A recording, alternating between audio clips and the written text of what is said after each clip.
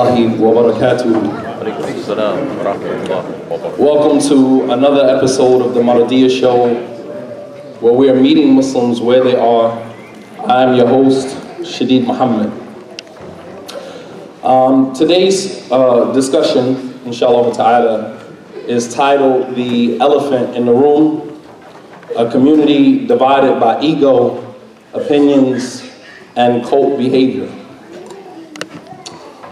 Most of us are aware of a lot of the recent clamor and discussions that have been going on both online and offline and in many homes, masajid, as well as in many different, you know, dinner tables where discussions are now being redirected in terms of the stagnation of many of our communities. And when I say our communities, it's not exclusive. That's not an exclusive term when we say our communities.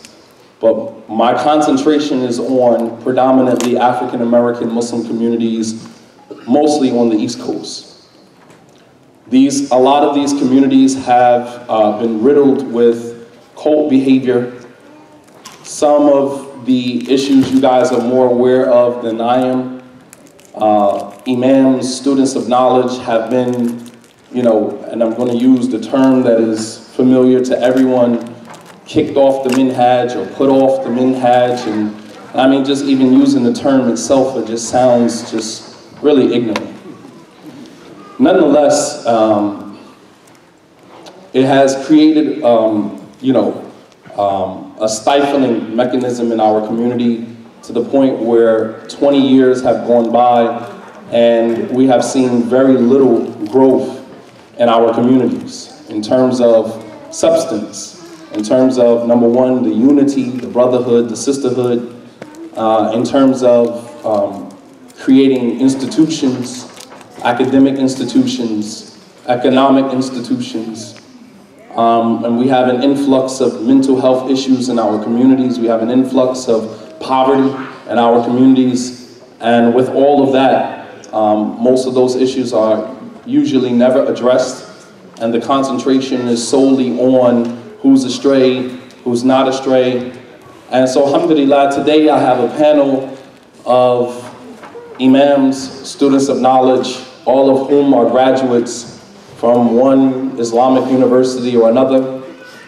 And one of the things, or two things that all of my panels, my, my, my panelists have in common is that all of them including myself at one point or another, was actually considered off of it. I don't know, I, I might still be considered off of it, and they might be too.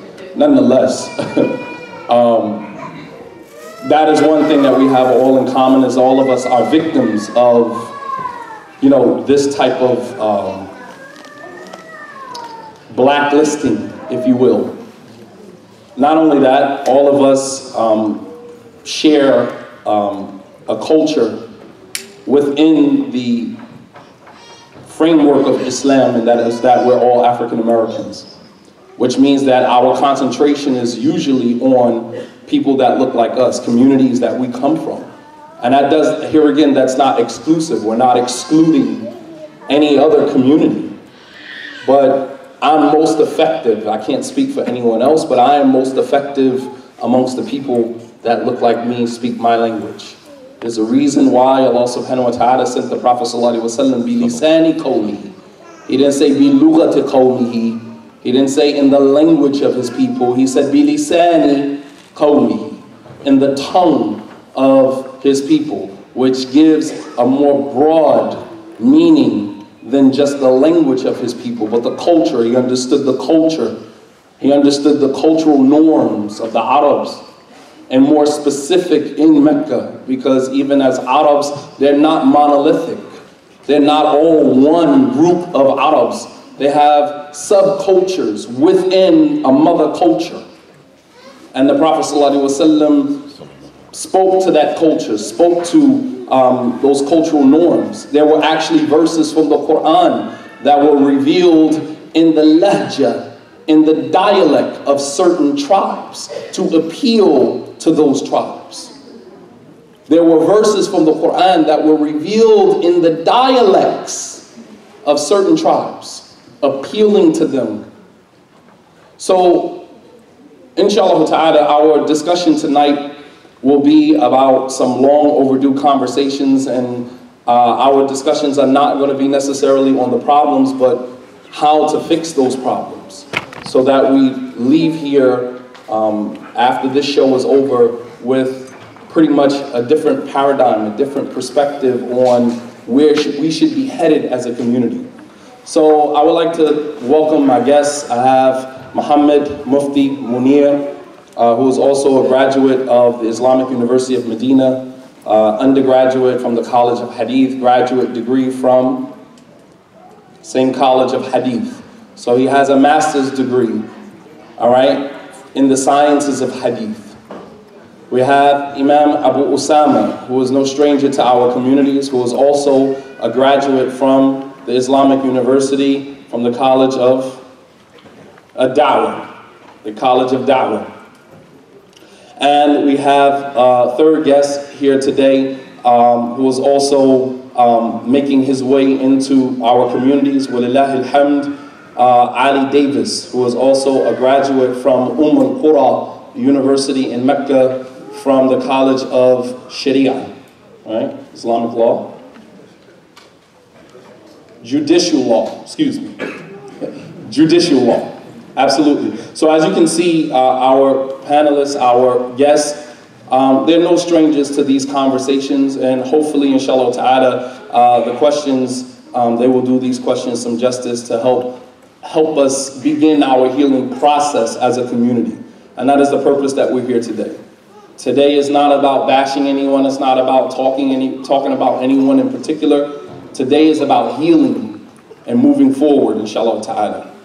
So I'm going to jump in very quickly um, with um, my questions. I'm going to start with question number one, and you guys can decide who is going to tackle the question first. You guys ready? There's no backing out now. You hear. All right, so the first question is, uh, in the midst of much confusion, many Muslims don't have a clue what a healthy, functioning Islamic community actually looks like. Please draw for our audience an image or vision of what a healthy, functioning Islamic community looks like. So at least we have an idea of what we should be working towards. I, much as well as you brothers sitting on the stage with me, have had an opportunity to live in a Muslim country that is governed by Sharia, governed by Islamic law, Quran and the Sunnah. And so we actually could, we actually have a vision of what a functioning Islamic society does look like. Many of our audience have never lived, even if you've been to Saudi Arabia, have never lived in these countries, have never lived in these environments to actually see Islam functioning as a society. So what do we need to know living here in America, in our communities, what does a functioning Islamic, healthy Islamic community look like? Uh, you can grab that mic, whichever one you decide to go first. Paint us a picture, inshallah, of the components that comprise, that a healthy, functioning Islamic community comprises of.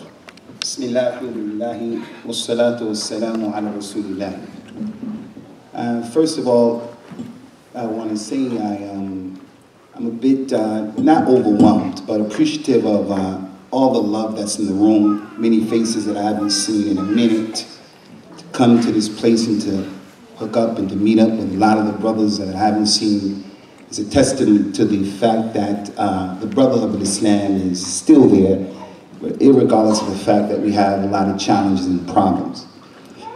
As it relates to this question, from my perspective, I just want to make it very clear, crystal clear. The Islamic community is clearly what the Prophet brought, sallallahu alaihi wasallam. I don't want to be over simplifying the situation, but it is simple.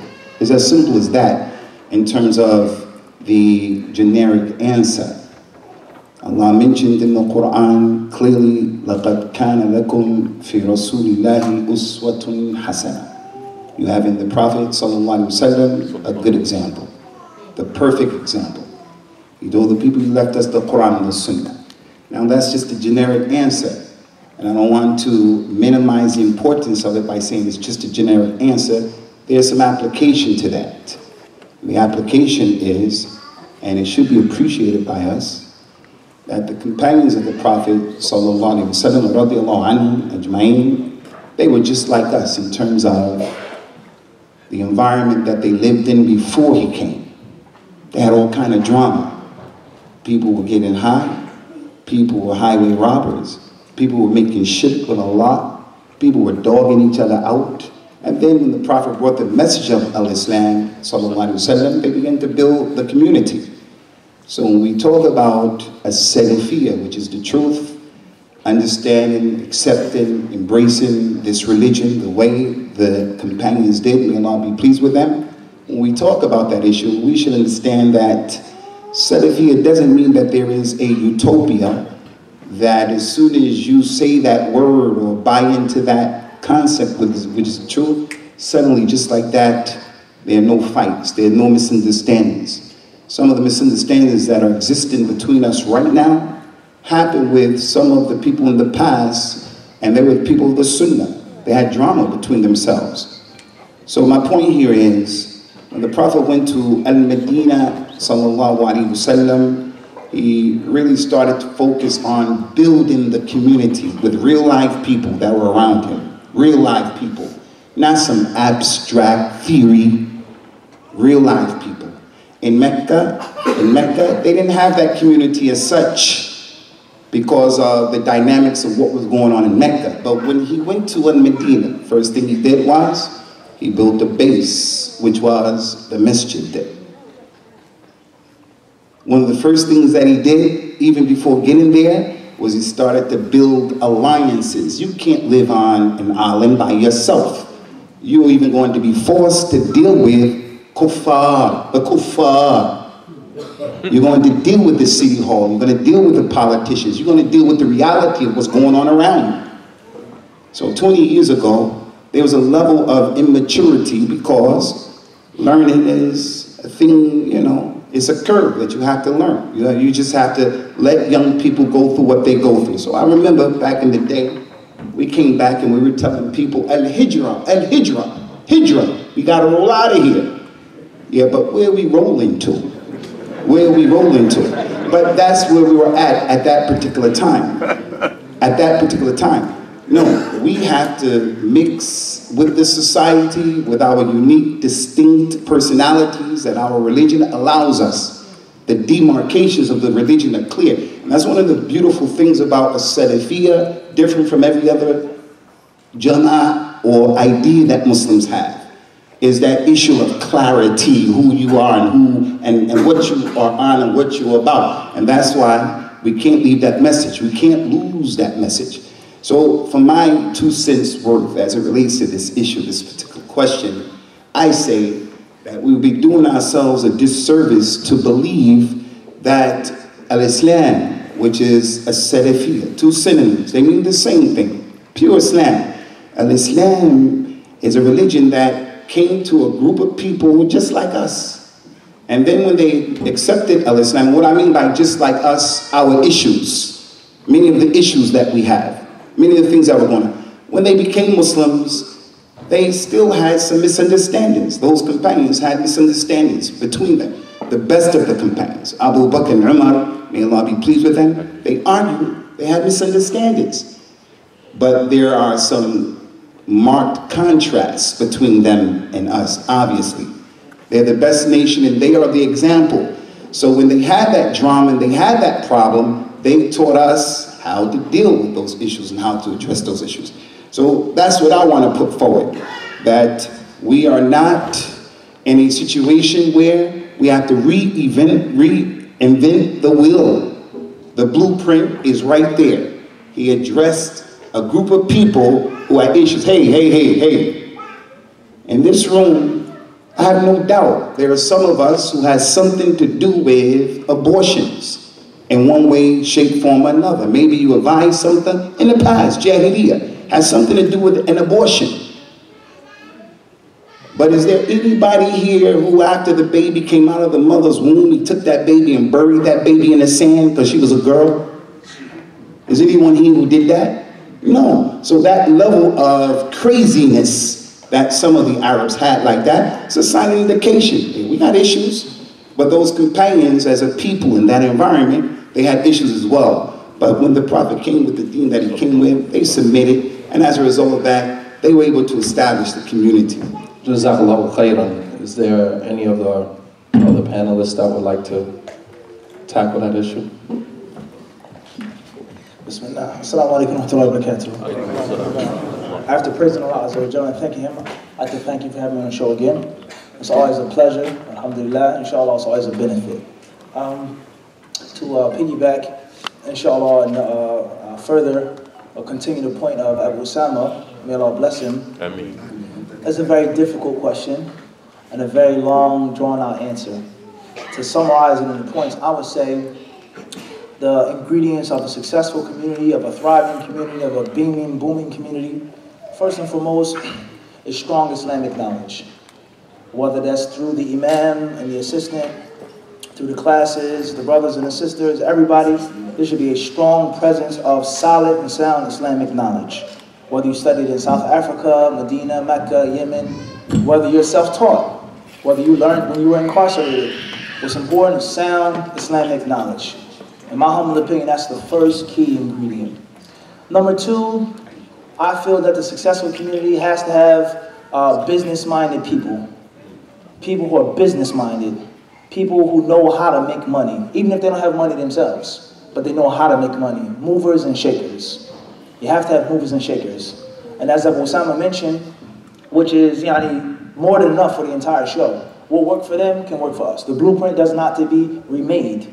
Uh, there were some things that the companions, uh, the issues and problems that they had that are unheard of, like burying a baby girl alive in the sand. It's unheard of. Even with the worst and most savage abortion, it's not after birth, burying it in the sand just because it's a girl.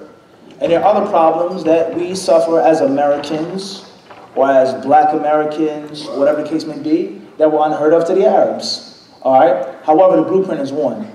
Uh, the Prophet, said, of course, that blueprint, there would be no dawah, there would be no hijrah without Abu Bakr as-Siddiq.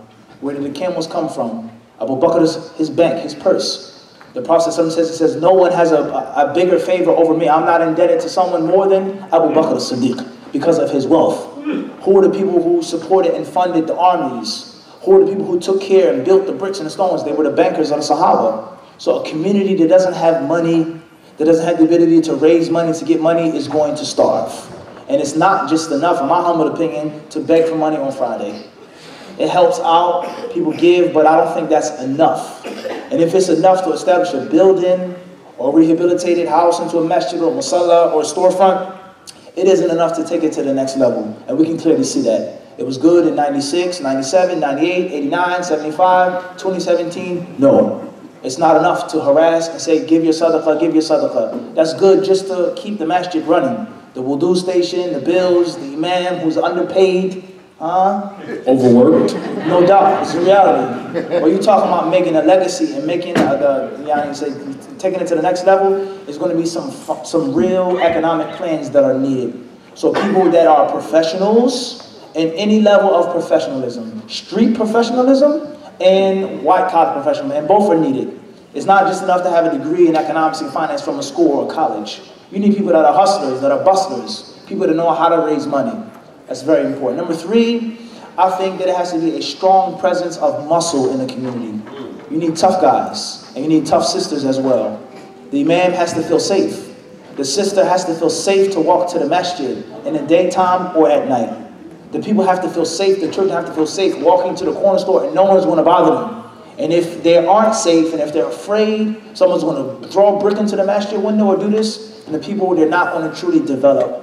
And that's why there's no country that produces and creates and innovates in the field of science and medicine and this and that unless it has a strong military presence. The people, the scientists, the engineers, the chemists, the doctors, the writers, the poets, they have to be safe. And this is also manifested in the blueprint of the Prophet, as Abu Usamah mentioned. Who were those tough guys? Who were those people that were the muscle? Umar ibn Khattab. They were the, the Sahaba that protected them and made them strong. Hamza, anhu. In which when they became Muslim, the Muslims had a sense of pride. They weren't afraid. Because if you bother this poor, weak Muslim, Abdullah Mas'ud anhu, who is is very skinny. He climbed the tree and some of the companions laughed at him, how skinny he was. This is the Sahaba. And the Prophet says, do you know how heavy his, he'll be in the scale on Yom Qiyamah? So if they bothered the skinny, scrawny companion, they had to deal with the big, brolic companion. So I think it's a very important key element and not just disorganized, tough guys, but an actual professional security team for the masjid. Now, I don't want to go too deep and open up no old wounds, and we don't want nobody saying this and that, but it is a reality. In the early days, in the 60s, the 50s, the 40s, the different movements of Islam. All right, we don't want to mention the names, the different movements of Islam. But One of the key factors of this movement of Islam was security. Security force. They had, And, and many of you here used to be part of those securities. Quiet as kept. no doubt, that is a reality. Yes? It's a reality. After that, a key ingredient is that the people, and perhaps I'll, I'll end with this one point, maybe Abu Zaina wishes to say something. I would say is the people that are running the community with the imam, the administration, the muezzin, the teacher, the security guard, they have to be people that are running their lives properly that are responsible parents, fathers, mothers, adults, and not people that are broken themselves. Now, this is probably one of the biggest plagues that we have. Somebody's in charge, and as it says in Surah Yusuf, I don't free myself from this. A person is a leader who really needs to be led himself. Hmm. Someone's in charge, he has to do something, and he, not everybody has problems. We all have issues, all of us. But it's speaking about myself, we have major issues in our households that we aren't doing properly. And I'm them who are saying, ittaqullah, take care of your family. Men are protectors and maintainers of women. My sister, my mother, my daughter, no hijab. Okay? Now, you talk about, I remember a couple years back, first time you saw me wear this, right? You said, what is this? right? Is a true story. So I said to him, He has an eye for fashion, though. Make no mistake about that. I said to you just as quick, I said, it's no different than what you got on, right? So obviously, they say, okay, Muhammad, Mufti, whatever you call him, he's crazy. He does a khutbah with a sword, he has a loosely outfit. He said we were in Canada last December. He says, you had on the, the, the, the, uh, the Tai Chi jacket, so and so. So I'm trying to make a point. I'm trying to make a point. My friends, close friends, they know I was raised and I love martial arts. I'm trying to make a point here. There's some martial arts in the Far East, specifically in Japan, in which a person is not allowed to take on students. He's not allowed to train. He's not allowed to make a dojo until he reaches the age, a very interesting age of 40. He's not allowed to be a master until he at least reaches the age of 40. And then he's given the title of Hanshi. And a Hanshi, they say, is someone who has mastered himself. Then he goes on to master somebody else. So maybe the imam of a community, a leader of a community, a financier of a community, my bills are way behind. My house is falling apart. My wife is, and my kids in this school, and it's a problem. So the leadership itself can't be full of gaping holes. We can't lead others, and we haven't led ourselves. So I think it's a crucially important point that is often neglected, is that the people that are running the masjid, the imam, the administration, do not put people in charge that are not good managers of their own homes and businesses. And we tend to, and we tend to, to that point, we tend to look at how knowledgeable a person is or how affiliated they are or aligned with a particular interpretation of Islam. And then we'll use that as the criteria for selecting this person to be the imam. And we totally overlook his social affairs. We totally overlook the, his morality, his muru'ah, his level of moral integrity. And we'll totally toss that out of the window and concentrate on the fact, well, he's knowledgeable, or he's Salafi, or he's affiliated with this group, and we'll use that as the criterion and totally forget about everything else. And then when we're knee deep in sin as a community, because when a person is engaging in a behavior, they can't talk about it. I remember there was a particular sheikh from Medina, without mentioning any names, and we were doing a telelink with him. And we asked him to give a talk about zakat.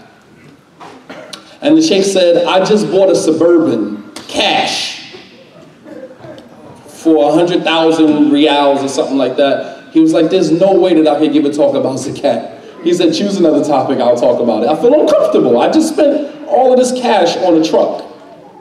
And I'm going to get up in front of you guys and give a talk about giving money for zakat? He said, I, I feel uncomfortable. Choose another topic and I'll talk about it. So my, the point that I'm making is that when you select someone to be an imam or we hire someone to be an imam that does not have his social morals in place, um, they're going to do the community a disservice because they're going to sidestep, yatajannab. They're going to stay away from those moral issues because they are falling into them. So they can't address them. And so this is why you have a lot of leadership that will sidestep issues of morality like domestic violence, issues of you know fornication and adultery. When was the last time you heard a khutbah about the dangers of adultery or fornication? And it's rampant in our communities. It's the elephant in the room. But you can't talk about something and you've fallen into it. So to that point, man, alhamdulillah, some, some very, you know, and I hope you guys are taking notes. This is not just about here airing out our dirty laundry. This is here, we're here to create a blueprint that will work for us, taken from the original blueprint of the Prophet Sallallahu Alaihi Wasallam. I don't know, Brother Ali, if you wanted to. Bismillah. It's kind of hard to add something to what Sheikh Abu Usamah said and, and Mufti and Shadeed. Um, just to add a little bit to it, I was just telling um, Sheikh Abu Usamah, we ran into each other, I think it was 08. In 2008, we made Hajj together. And when I ran into him, we got into a long discussion. And I said, Sheikh, when you gonna come back to America? And he said, when you graduate and come back, I'll be back. So before the show started, the first thing I said to him, well, I'm back now, so what are you gonna do? that was that. So with regards to the, the issues that we're talking about with the communities, the number one thing that I, I stress with myself and everyone else is accountability. The problem is we don't have no accountability in our communities. And for that reason, it's like a cat chasing its tail. We'll never catch up because no one is holding anyone else accountable in our communities and you know religious leaders or what have you, or if you're affiliated with certain religious leaders, you can do and say whatever you want. There's no repercussion. People are afraid, and those days have to end. Uh, the issue is, like like Brother Shadeed mentioned, we spent a lot of years living in the Muslim countries, and one of the things that I noticed is that in the Muslim countries, people are allowed to be lay people. Everyone is not going to be a student of knowledge. We have people in the communities that go to work, take care of their families. They're not, you don't have to memorize a certain amount of hadith and memorize the entire Quran to be Muslim. It's enough to learn what is necessary and incumbent for you to enter into paradise. That's it. Everyone's not going to be a student of knowledge. But we need doctors. We need people that can protect us, lawyers. We need everyone from every gamut to help the community, help the community grow. In addition to that, we also need, like the brother Mufti mentioned, we need to be able to establish our own funds. Asking people for money all of the time is not the answer. So in Philly right now, we're starting another community, Mufti, myself, and Abu Sajid, wherever he is, if he's in here. Um, it's called Imam Muslim Family Center. And the reason why we're putting this together is because we recognize these issues. Among ourselves, I've known Mufti for many years. Abu Sajid, I've known him since before I was even Muslim. And we hold each other accountable. If anyone's out of pocket as a term that we use, everyone's going to get it. No one's above the law. And this is a term that I always use. The law here is the Quran and the Sunnah. No one is above that. No student of knowledge, no scholar, no one is above the Quran and the Sunnah. And what that means is anyone can be questioned if they go if they're in opposition to the book and the Sunnah. It doesn't matter who they are, what status you hold, it doesn't matter. Obviously, if it's a person that's on a scholarly level, then you're to approach them with a little more respect and a lot more dignity, perhaps than you would if you were talking to someone on your own level, or perhaps they didn't have as much knowledge as you. But at any event, no one, uh, no one is above the law, and I think that's very important, especially in our communities because we have, unfortunately, we have in our communities this, uh, this groupie, star-struck mentality when it comes to students and knowledge and scholars or etc. And the reason why I'm saying that is because years ago, Sheikh Abu Usamah, he was on top, and I was one of the young people in the crowd listening to him give lectures. This is before I even thought about studying Islam. And I used to look at the, the way people looked at them, and I said to myself, I didn't want to be put in that position, but I wanted to learn Islam. So you got to understand as young people, listening to brothers like Abu Usamah throughout the years, and one minute he's on top, and the next minute they throw him down to the ground, and you wonder, you're left questioning yourself, well, what happened? What did he do wrong? Well, how did that happen? How did this? And so you get scared. And then you say, you know what, I don't want to study Islam. Then you say, okay, I do want to study Islam, but I don't want to be in that position. I'm pretty sure every brother here on this stage, there was a time when you said, man, I'm, I'm just going to do everything I have to do and not get warned against. Right or wrong? Everyone.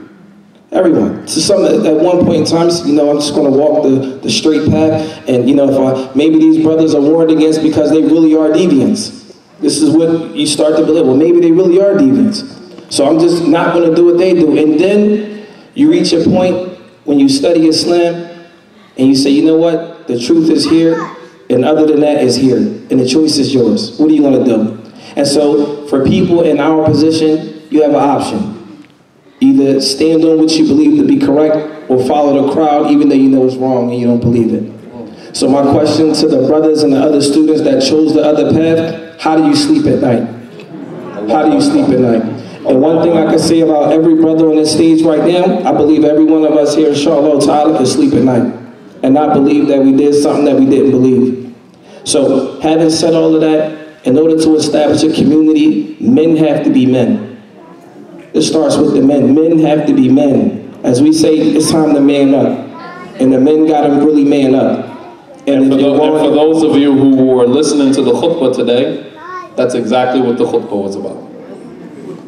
Subhanallah al I had no idea he was going to say what he said. I had no idea. Not to cut you off, Sheikh. I'm sorry about that. All right, so stay right there because my next question is, uh, you know, I kind of let you guys slide on that one.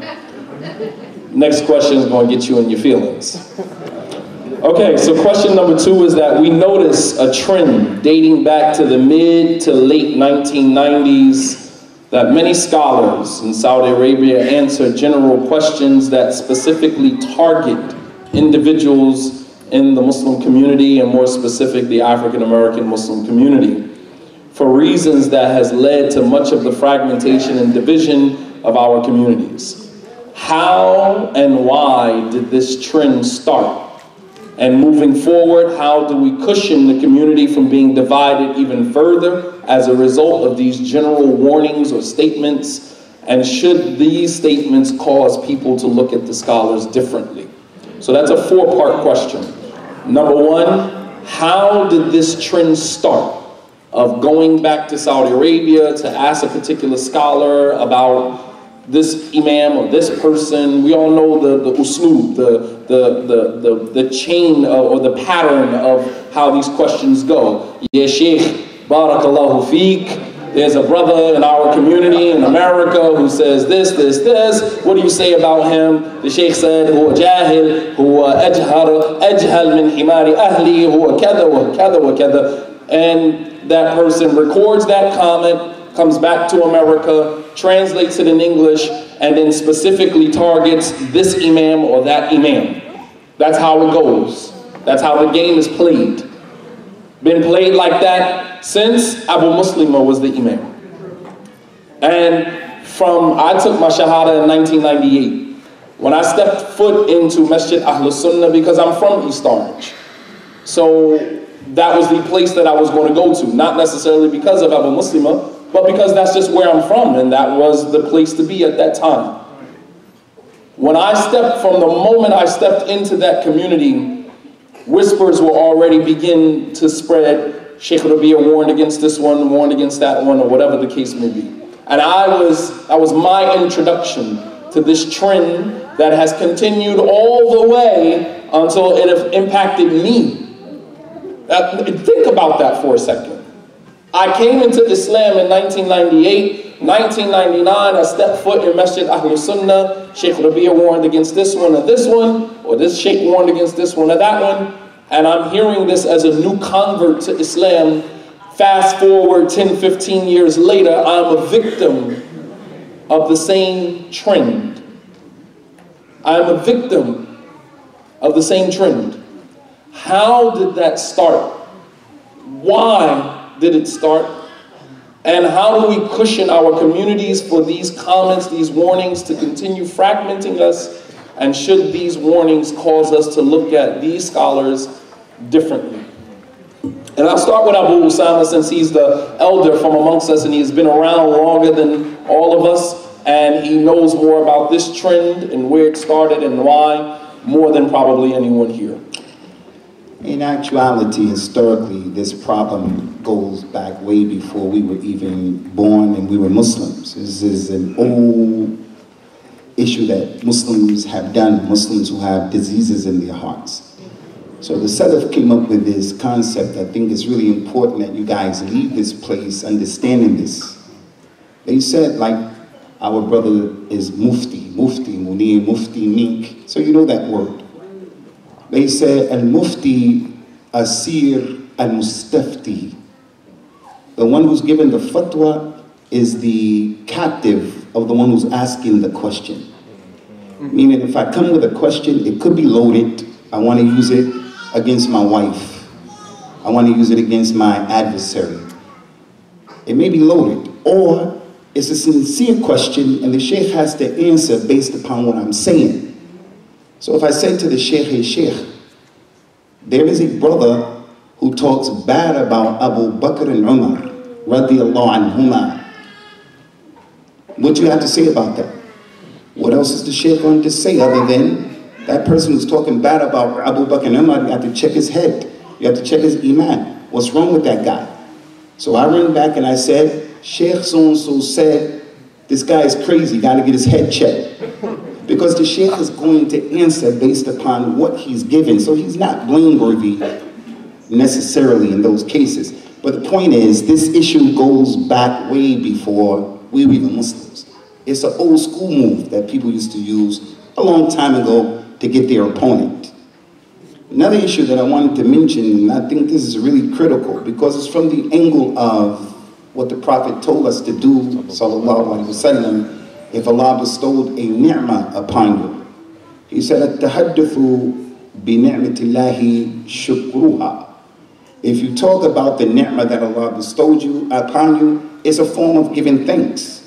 وَأَمَّا بِنِعْمَةِ رَبِّكَ فَحَدِّثْ Talk and tell the people about the name of Allah. The people you love, obviously, so you don't get the evil eye, you don't get haters. But one of the ni'mas that Allah bestowed upon me is, when I was in Medina in the mid, late 80s, the doors of Salafiyah opened to me from Asham, and Al-Albani was there.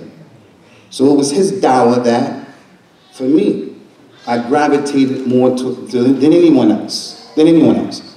So as a result of that, you'll find that sheikhs like Al-Albani, and they were around when all this drama was happening, People used to call them. It's on YouTube, you can find it. Sheikh. There's a person who says this, the sheikh will say, who are you? Who are you? Hmm. Ah, do I know you? Hmm. And do you know who knows me? Do I know you? And he would do that. And he would try to get the guy off of that thing he's asking about this and that. The sheikh could smell something is fishy here. Hmm. Ibn Baz, Ibn Uthaymeen, those ulama, rahmatullahi alayhim, those people during my time, they had a different awareness than what we find now. Now, some of the shuyukh are blameworthy, and that's the elephant in the room. We got to call it how it is. Where the sheikh is saying to people, if you don't say something about this, I'm to bring you down. You understand? I'm to bring you down if you don't do that. So what happens now is the sheikh, he doesn't ask. And in the climate that we're dealing with, the climate all over the world, even places where the Muslims have armed conflict in Libya, in Iraq, in Syria. Salafiyah is there. So when the sheikh gives a fatwa there, it's not just boycotting people and character assassination. This is somebody coming up with an AK and blasting people now. And the sheikh is talking, and that stuff is happening in the Muslim world. And that stuff is happening in the Muslim world. And the sheikh is still saying things that is potentially inflammatory, deadly even.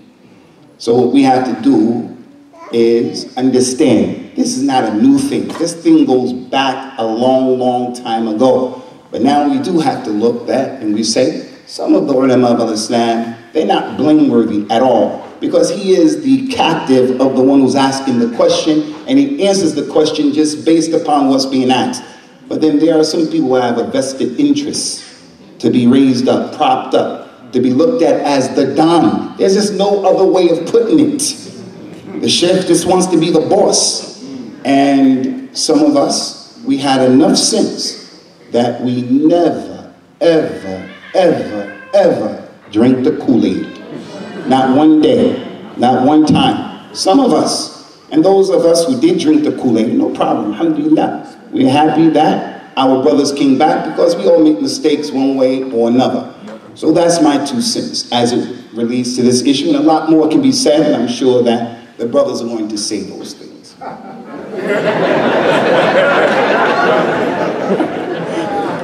Mufti's wheels are spinning, so I'm hoping we get a, a, a very detailed answer. Brother Ali. Imam Ali. So the, the question is, um, how did this trend start? And obviously each uh, speaker will speak from his own perspective in terms of how he was introduced to this particular trend. Um, why is, was it necessary? And how do we cushion our communities moving forward from these types of warnings and statements um, that are being translated and pushed back out into our communities? How do we cushion the community from being further fragmented? And should this cause um, the Muslims to look at some of these scholars in a different light? It's a heavy question. It's heavy. Um, first, it's in terms of the history, I don't know, I can't say, I, I don't go that far back to say, okay, where the history started. However, uh, what I believe, and Allah knows best, is that the issue starts with a lack of knowledge. A lack of knowledge of the one that's asking the question. And so I remember, I remember uh, one day we were with uh, one of the mashayikh in Mecca, and he said to me, if you just wanted to be a translator, then you shouldn't have came here to study at Umm Qura. You should have went to Egypt, and this is no disrespect to brothers that go there, but he meant Egypt in terms because they have Arabic centers. Just go there and study Arabic and go back to your country and be a translator. He said, if you want to study knowledge, then you need to sit here and do your own research. So one of the issues that I find is that when you ask a scholar a question, the scholar is going to look at the questioner. Who is he? For example, if a brother is considered a student of knowledge, you're not going to ask a scholar, what's the position on a brother who says this? A student of knowledge is not going to ask that question. Understand that, brothers and sisters. A talib ilm will not ask a question like that. That student of knowledge will do his due diligence. He will research the issue, find out the statements of the Salaf, and come up with his own opinion, and then ask a scholar about that.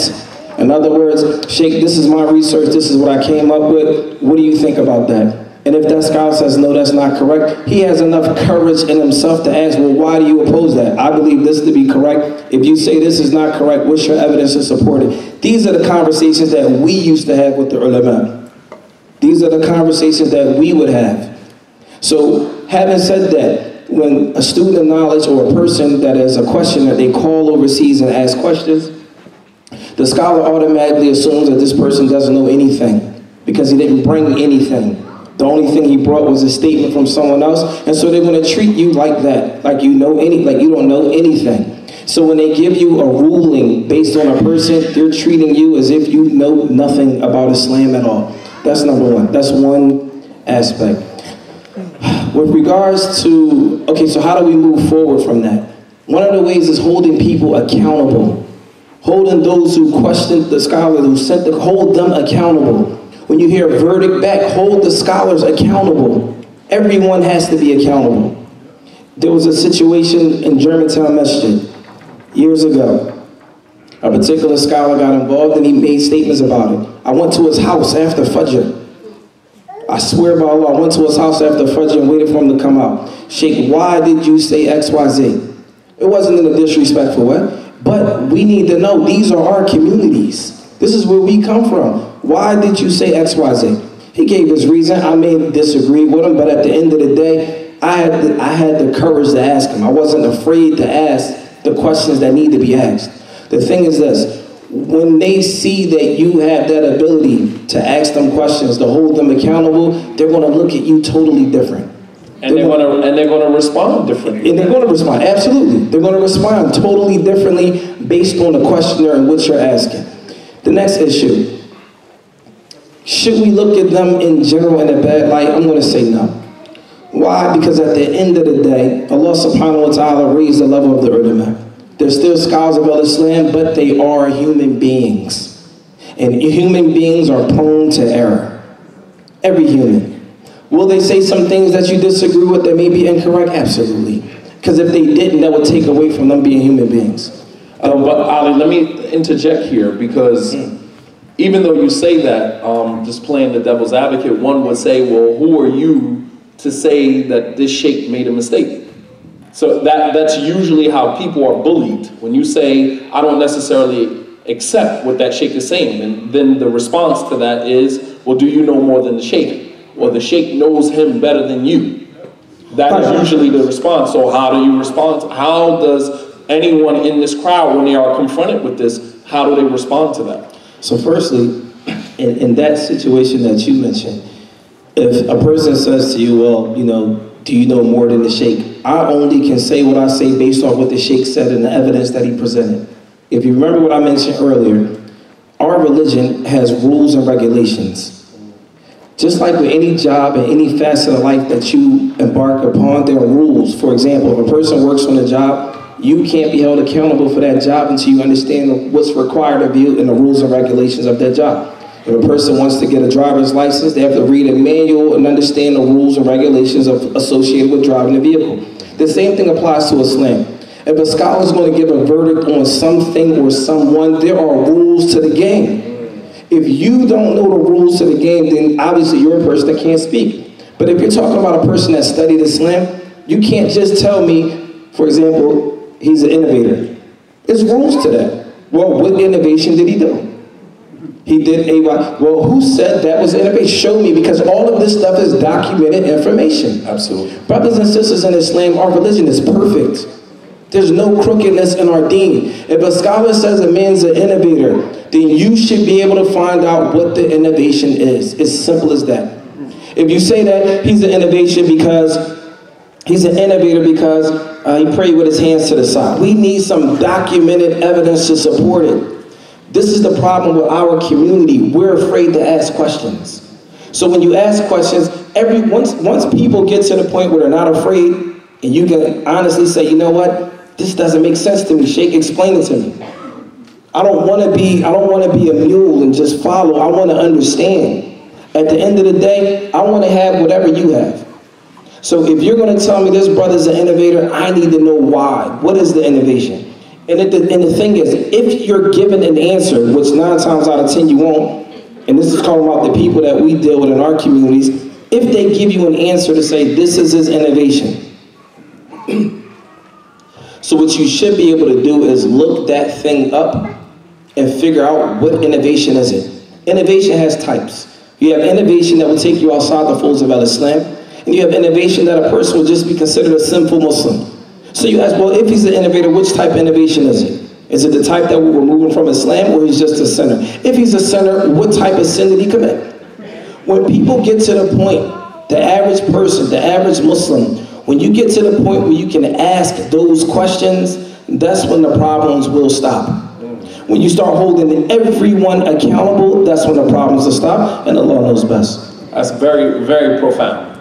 Because usually what happens is that people on your Facebook page, someone will say, they'll, what they'll do is they'll take the link from a Facebook refutation and then they'll post it on your page and say, well, he's been warned against. And then usually what people will do is look at that link and say, okay, he's been warned against. And that's it. You never even clicked on the link. You never even listened to what the person said. You never looked for the dalil. You never did any of that. They posted the link on your Facebook page, he's been warned against. Okay, khalas, he's been warned against. And then what you do is you share that link with somebody else. You never even listen to it. Allahu Akbar. You never even listen to it. And then you post the link to somebody else's page. Here, this is what the sheikh said about him. He's been warned against. And you never even listen to it. And then the person never listens to it. And then this is how it spreads in the community. And then you have one brave soul who actually clicks on the link, listens to it, and said, this is bogus. This is bull crap. And then this is where the tafarruq comes in. Because now it's like, okay, you're going against the sheikh. The sheikh provided you with the dalil. You're saying what dalil? It was a two, it was a one minute and 40 second clip of the sheikh saying this person is an innovator, is a deviant, stay away from him. She never quoted any dalil from the Quran or the Sunnah, never mentioned the actual innovation, nothing. And for some of us, that's enough. We don't need to hear anymore. And this is, has fragmented and divided our communities on levels that is beyond what is imaginable. And we wonder why people, Muslims from other communities, other ethnic communities, backgrounds, don't even return the salams when we give them to them, when we give them to them. They don't even take us serious. We are the only group of Muslims in America that has allowed this foolishness, this ignorance to divide us and separate us all the way down to husband and wife. No other community in America or any other place has allowed this dynamic to penetrate all the way down to the marriages. Brothers and sisters have divorced because she wants to listen to this imam and he says the next time I hear you listening to him, I'm going to divorce you. I mentioned this last night. Wallah al I had a sister tell me last night the same thing was done to me. I was divorced for listening to you. What other Muslim group in this country has allowed this level of ignorance to penetrate all the way down to the social fabric that is the building blocks of the community, husband and wife, separating communities, separating families.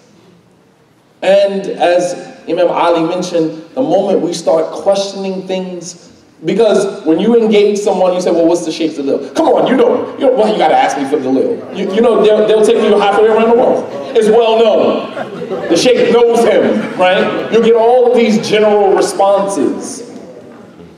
Don't be a moving target. No, no, no, no. Stay right here. Give me the dalil. What's his innovation? Oh, he spoke about the scholars. So speaking about, okay, what was his statement? I, I didn't hear it. I, somebody told me. It's like, come on, man. Go figure your story out. Go get your story straight first. Then come back and talk to me. When you start showing that you have some level of intellect, you will begin to now back people away from you. So with that being said, inshallah, I'll allow um, Brother Muhammad Muneer, inshallah to respond.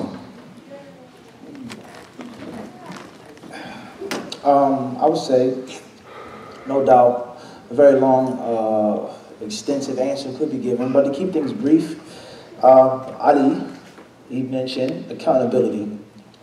Um, but uh, Abu Usamah, Abu Zubair, um, and uh, Abu Zaina, they just mentioned accountability in general. Now I want to finally tune the term or the concept of accountability. My humble opinion, the accountability cannot be aimed at one direction. It can't just be one direction, one party, one class of accountability. I feel that the accountability has to be divided three times or spread out in three classes of people. Accountability of the scholar, accountability of the da'iyah, the da'i, the da'i, the student of knowledge, the imam, the imam. He has to be accountable, the translator. And the layman, nine to five Muslim, you, not all of you, but in general, you're accountable as well. And it's not just the fault of the scholar. Can't just blame it on the sheikh. The sheikh is evil. The sheikh has destroyed our community. The sheikh, the sheikh, the sheikh, the sheikh, he has brought no good to our community. Perhaps. But there's accountability for you. You didn't memorize Sahih Bukhari, you didn't study in Yemen, you didn't go to Egypt, but you do have a brain. Allah gave you basic common sense, which is a genius in work clothes, as they say. A genius in work clothes is common sense, good, solid common sense. And the student of knowledge and the translator also has accountability. Some people say it's the Sheikh's words. Okay, they are, but you translated it.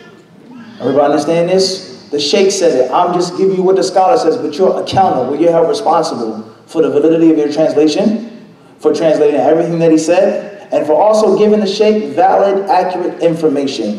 When all three tiers are in cohesive movement, ta'ala, the system is going to be thorough. Everyone is accountable. What the Sheikh says, how it's presented to the people, and how you respond. If you allow a man, and this is, once again, this is no disrespect to anybody, but this is the truth. If you allow a man, if I ask you a question, hypothetically, Sheikh Fulan, and I'm not talking about one scholar, if you think it's talking about one scholar, then put on the shoe if you feel that it fits. What does Sheikh Fulan look like? If I ask many of you, some of you made Umrahs, but what does he look like? You wouldn't have a clue. If the sheikh walked in the door and walked by, you think it's some old man. You wouldn't have a clue what he looks like. What's his kunya? What, he, what does he specialize? You don't know anything about this sheikh. And you allow him to dictate, to become a dictator and to control and rule your community and separate and split up and divide and destroy and demolish. That's your fault. That's your fault. And you can't blame that on the sheikh. Everybody understand this? A student of knowledge who's just a donkey, an ass, that carries around books. The sheikh said, this one said, I translated without using his mind and the basic skills that Allah gave him. That's his fault. And a scholar who allows people to manipulate him and to use him as a weapon against their enemies, their opponents, their adversaries, that's his fault for allowing himself to be manipulated and to be used. Everybody's accountable and everyone is going to be held responsible on the day of judgment. So that's first and foremost. Accountability is not just for a scholar. It's your fault too. It's your fault. It's your fault, sister. It's your fault for allowing it to happen and allowing it to take place again and again and again and again. It can't be an accident. It's impossible for 20 years to go by and the same thing to just be an accident. It's a program, it's a system, but you allowed it. You allowed it The student of knowledge and the scholar, everyone's accountable. That's first and foremost. Now, not to take too much time up. Um, no, continue. let's make a few examples, inshallah. Allah says in the Quran al-Kareem, in the 10th, chap- in the 10th chapter, Surah Yunus, and towards the end of the surah, ألا إن أولياء الله لا خوف عليهم ولا هم يحزنون الذين آمنوا وكانوا يتقون لهم البشرى في الحياة الدنيا وفي الآخرة لا تبديل لكلمات الله ذلك هو الفوز العظيم Allah says, indeed, for sure, the awliya, this word says awliya, plural of wali. And we'll translate what that means later on and interpret it. The walis of Allah will have no fear and no sadness and no grief whatsoever. Who are the walis of Allah? As, as if someone asks a question. Allah says, الَّذِينَ آمَنُوا Those who used to believe, وَكَانُوا يَتَّقُونَ And they had taqwa. Allah then says in the next ayah, لَهُمُ الْبُشْرَى فِي الْحَيَاةِ الدُّنْيَا وَفِي الْآخِرَةِ For theirs is glad tidings in this life and in the hereafter. لا تبديل لكلمات الله. No one can change what Allah has said. ذلك هو الفوز العظيم. Allah says, indeed, that is the great success. In the well-known hadith, you all know, it says that Allah Azza wa Jal said, من عاد لي وليا فقد آذنته بالحرب. Anyone who abuses, who annoys, anyone who aggravates, anyone who disrespects one of my walis, I have announced warfare. A state of war exists between Allah and between this person who's disrespecting one of Allah's walis. And there are other ayat and other hadith about the walis of Allah. So who's a wali of Allah? The wali of Allah has many meanings. From its meanings is a friend, a close friend, someone who is loved, someone who's protected, someone who's looked after, or look, he's going to look after this person, an ally. So the Quran tells us that the friends of Allah, the protected slaves of Allah, the chosen slaves of Allah won't have any worries in this life or thereafter, period. So the wali in Islam has a tremendous status according to the kitab and the sunnah. Now, what's the first book that you studied when you accepted Islam? What's the first book that you studied when you learned about Salafi Dawah, a Dawah to Salafiyah? Back in the mid 90s, late 90s, it was a Dawah to Salafiyah. Now it's just Salafiyah. Back then it was Salafi Dawah. The first book you studied, perhaps it was Surah Thalatha, Three Fundamental Principles of Islam. The first book you studied, Kitab Tawheed, Aqidah Wasatiyah, so on and so forth. Who wrote these books? Who's the author of Ibn Abdul Wahab? Who, who's, who's the author? Ibn Abdul Wahab, correct? Ibn Abdul Wahab, rahimahullah, many people that he lived with, many chieftains, many people of Arabia, their major problem, they had many, was the concept of the wali. The wali. And they said about Ibn Abdul Wahab is that he's disrespecting the walis. He's reviling the walis. He's going against the walis. These awliya, these friends of Allah, have no status to this man, Muhammad ibn Abdul Wahab. You can't visit their graves. You can't kiss the walls of their graves. You can't swear by them. You can't slaughter for them. You can't make tawaf around their graves. You can't ask them for help. You can't wear a necklace with their names. He's disrespecting the walis of Allah subhanahu wa ta'ala. Any Muslim will say, ah, a'udhu billah. Who would disrespect one of the awliya of Allah? La khawfun alayhim wa lahum yahzanun. Who's going to disrespect Allah's wali? So Ibn Abdul Wahhab, rahimahullah ta'ala, the author of many books that you study and memorize, he, what did he say? He says, I never disrespected a wali. He says, and I never said that the walis don't have a status. And I never said that they aren't special and protected Muslims. What I said was, they are not equal with Allah. They're not similar to Allah. You cannot slaughter in their name. You cannot make tawaf around their graves. You cannot kiss the walls of their graves. Allah has a status like no other. And beneath that status is the status of the wali. For you to take an orange and an apple and mix them together, that's what my dawah is against. So anyone who says that Muhammad ibn Abdul Wahhab says disrespect the walis has lied upon Muhammad ibn Abdul Wahhab. And the proof is my books. Read my books to find what I believe about the walis. You wish to make shirk with this wali. You wish to take this wali as a rival with Allah subhanahu wa ta'ala. And that is something that I am against. One of the main problems is not the concept of wali or shirk, we're not talking about it right now. It's to take the status of a scholar that Allah gave him and that a messenger gave them and to make that status above and beyond what Allah and His Messenger gave them. That is a huge problem. This is a scholar. He is to be respected, no doubt about that. This is a scholar. You are to ask him if you don't know, as the Quran says. This is a scholar. You benefit from him. You have good thoughts for him. You make an excuse for him. Last check, no doubt about that. As far as you giving the scholar the power and the ability that Allah and His Messenger did not give him, or you mixing and jumbling the right of a scholar with the right of this one and that one and the leader, then that's where the flaw comes. Hmm. So the brother, the student of knowledge, who goes overseas and he says, I'm not disrespecting Sheikh Fulan, I'm not disrespecting him, but I just disagree. And I sat in the classes with Sheikh Fulan, and when she said Ibn Qayyim, this one, that one, that one, if they're wrong, go against them. And that's the true way of the Salaf Salih. Imam Malik said everyone will be refuted, his statement will be accepted, except for the one in his grave. And he pointed to the Prophet's noble grave. That's what Imam Malik said. So this is what these scholars taught us. Not to be a donkey and an ass. Use your brain, O student of knowledge. So if I differ with the sheikh, and I feel that he's right and the sheikh is wrong, it doesn't mean that I disrespected the scholar. It does not mean that I have no love for the scholars. But it means loving a scholar and following the truth are two different things. Respecting a scholar is in following the teachings of that scholar. And the scholar's teachings are to go back to your country, teach your people. Don't follow anyone if they say something which is wrong.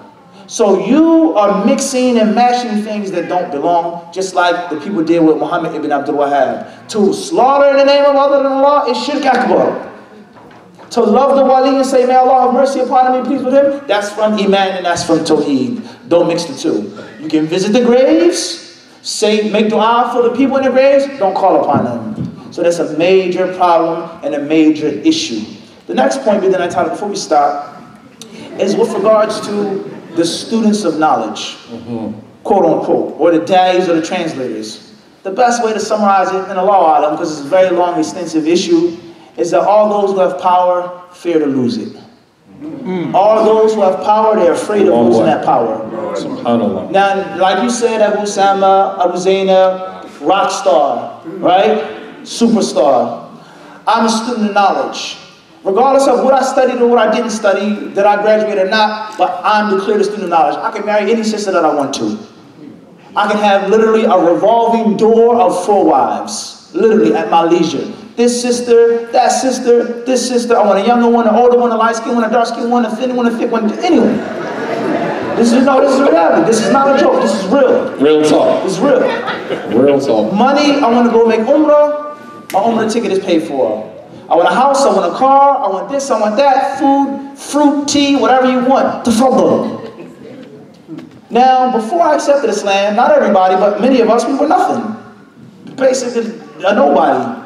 I come to Islam, I go overseas, I graduate from a school, I'm a superstar, I'm a celebrity. Wherever I go, people know me. They invite me to come and eat lamb, marry my daughter, be the imam of our community. This is Literally. It's reality. Literally. So this person, if, he's, if he doesn't have a pure heart, if Allah hasn't purified him, do you think he's going to relinquish this power to somebody that's younger than him, smarter than him, more talented than him, an actual real student of knowledge? That's up at night reading and studying books, as Ali Davis says, principles, rules, usul al-fiqh, he says judicial law, not sharia. Me, I barely graduated. I barely studied. I barely speak Arabic. It's just like sports. They're the greats of the 60s, the 70s, the 80s, the 90s. It's nothing like the athleticism of 2017. It's nothing like this player who can play the power forwards, the small forward, the shooting guard. He can play every position on on the court. The athleticism is nothing how it was back then. The 50 yard field goal was an accomplishment. Now people kicking 60, 65 yard field goals easily. The athleticism has evolved. So it's a different breed of student of knowledge. Now people are getting PhDs. People are getting master's degrees. People are studying and benefiting. So what you did back in the day, perhaps it was good, it was sufficient. You did what you could. And the only knowledge back in the day was getting the phone and call a sheikh. Alhamdulillah. But it's a new day. A new sheriff is in town. Don't be the hero too long that you see yourself to become the villain. No doubt. So, Learn when to bow out so and pass the torch on to someone the point else. is, the point is, Absolutely. is that if these if these people don't if they're not purified by Allah, they don't want to relinquish their power. So Abu Usamah is a better speaker than me. He actually graduated. I just lived in Kuwait and I was an English teacher. He actually graduated. He has a degree.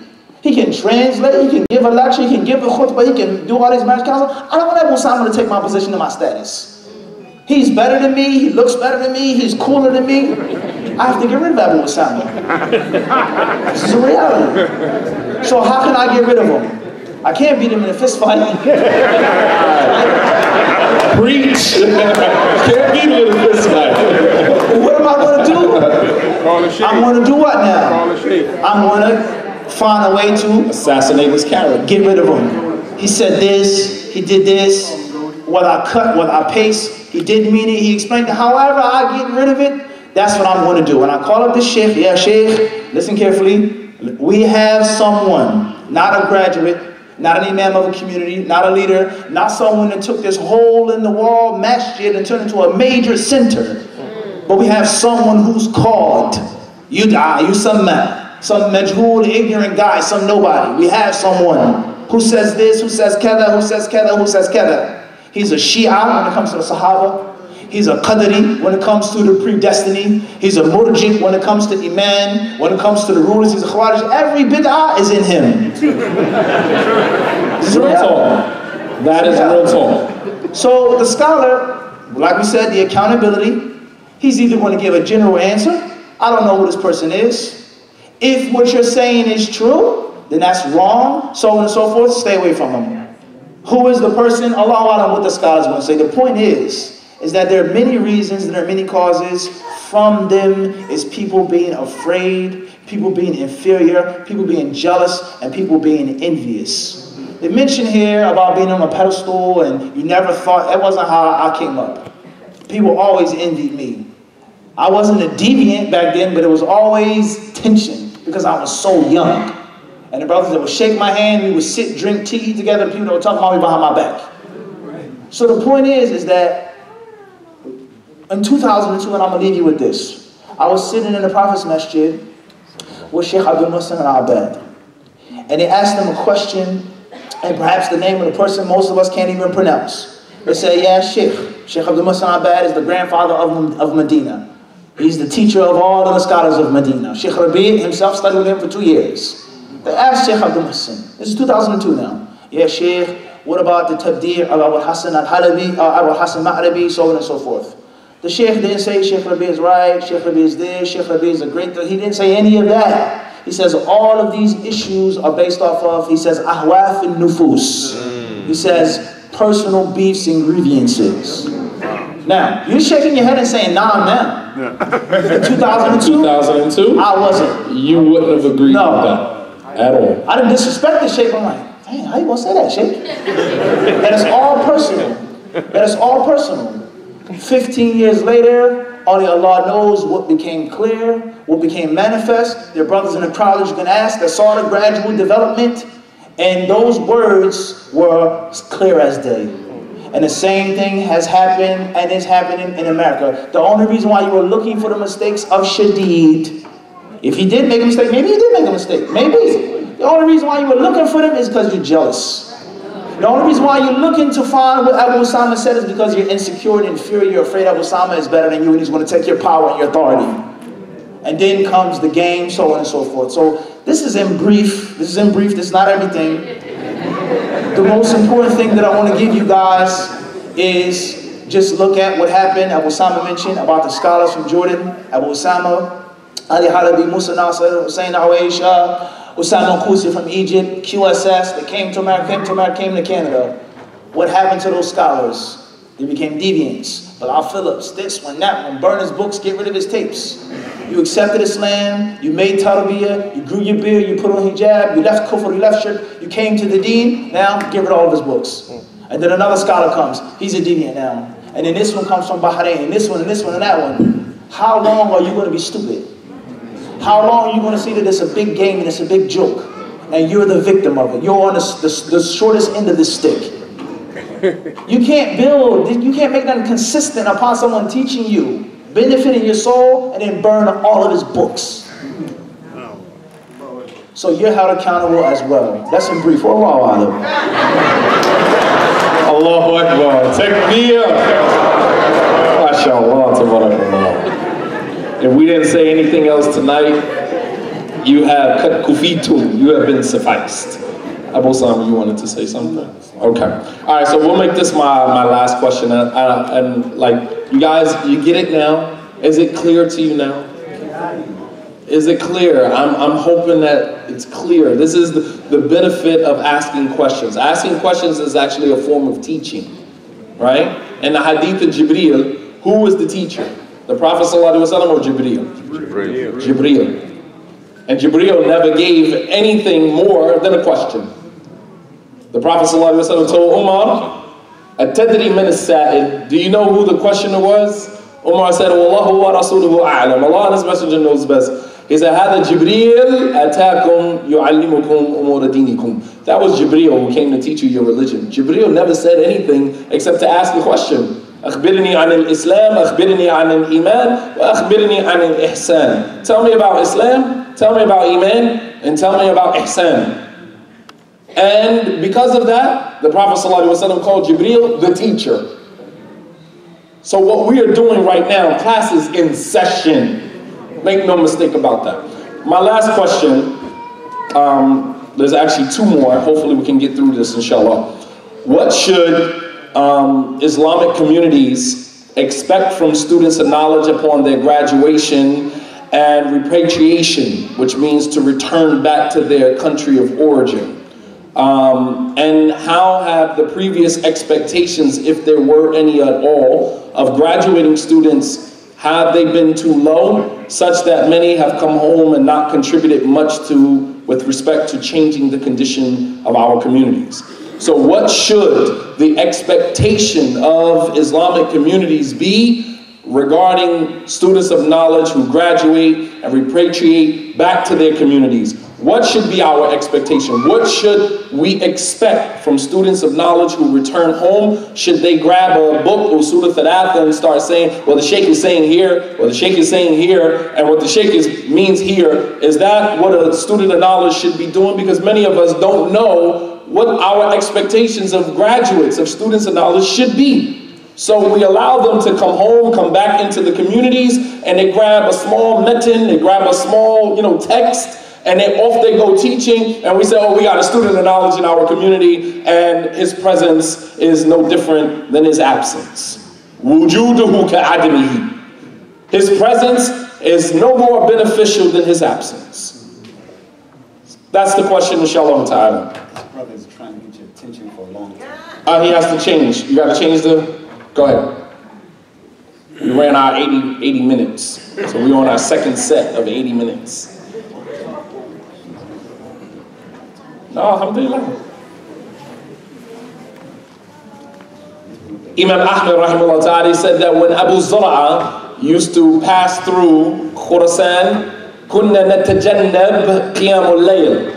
He said when Abu Zura'a, the great scholar, would pass through Khurasan, through the area of Iraq, we wouldn't even pray tahajjud because we would benefit from him for the time that he was with us. So if you have regular plans for the night, you're here for the rest of the Abu Zura is here.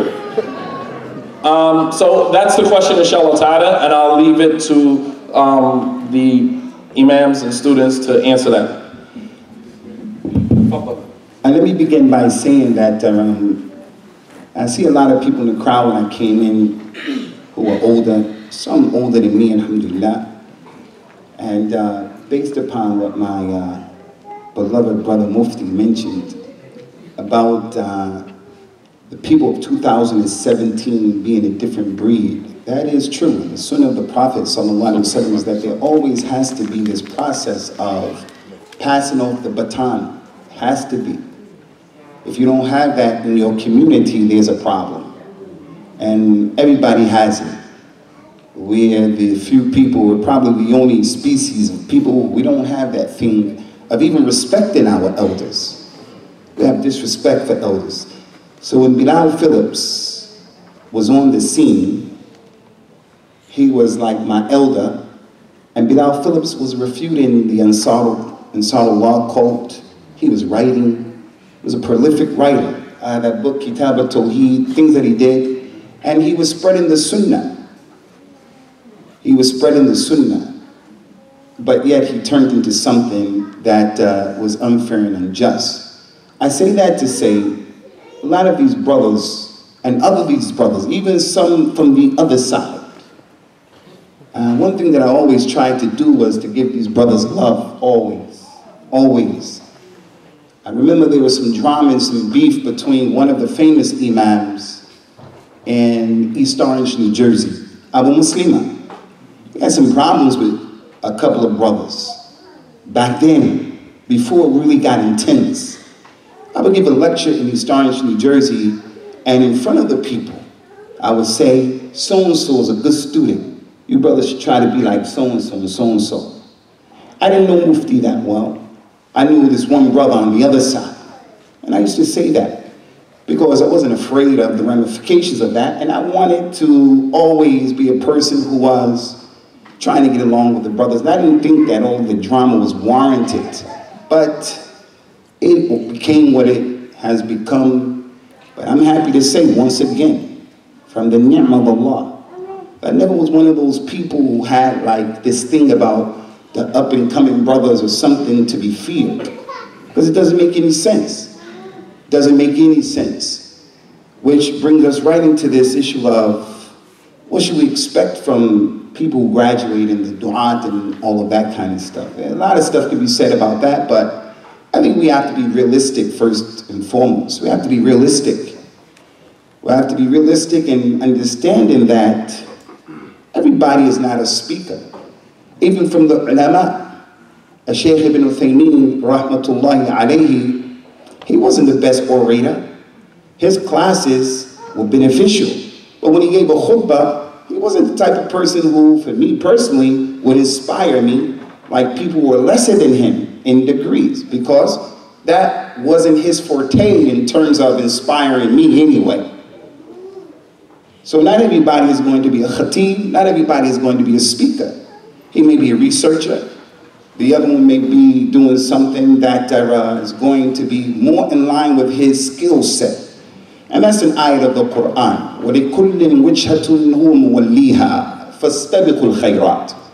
Everybody has his path that he's been put on. So follow your path. Follow your path. So this brother, he has the Mardiyah show. This brother over here, he's doing whatever he's doing. You're the mu'adhin. You're the cat who always is fasting on Mondays and Thursdays. You're the elder dude of the community. And you over there, you're the security and on and on. Just get in where you fit in and do your thing. So to think that every student that comes back, he's qualified or competent to even be an imam, that's not true. I knew students. I knew students from America. They got caught smoking weed in Medina. Dude came back and he was smoking weed in Medina from Chicago. He got kicked out. That's not for you now to go back. That's not for you to go and look for who was studying Medina from Chicago. No, but I know worse than that. I know some students who didn't get up for Salat. They didn't get up for Fajr. I knew people like that. They didn't get up for Salat al-Fajr.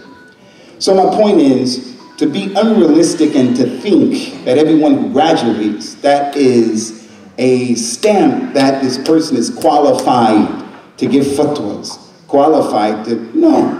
You have to look and identify what are the real, what's the reality of the person's skill set. Another issue in terms of the reality of the situation and knowing where everybody, uh, what his job is and, and, and where we fit in. Uh, this thing is a double-edged sword. Because on one hand, having the job as the imam or an imam, someone on the panel said that the imam is underpaid and he's overworked. Underpaid and he's overworked. And that's a reality for some people.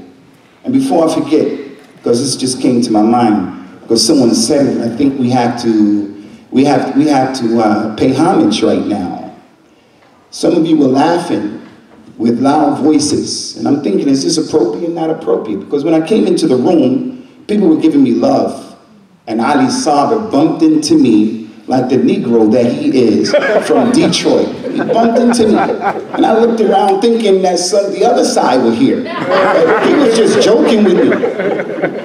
But when I came in, I realized I was disturbing the Dars of Mufti. I realized that, sensitive to that. Because when I'm teaching, I don't want people passing out water like this brother just did.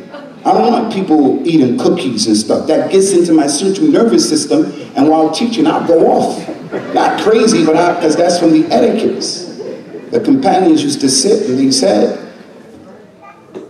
if a bird landed on their shoulder, the bird, that, that's how still they were. So the Majlis it has and requires a level of edit. So I, I apologize to him for that. I was sensitive to the laughing that was going on.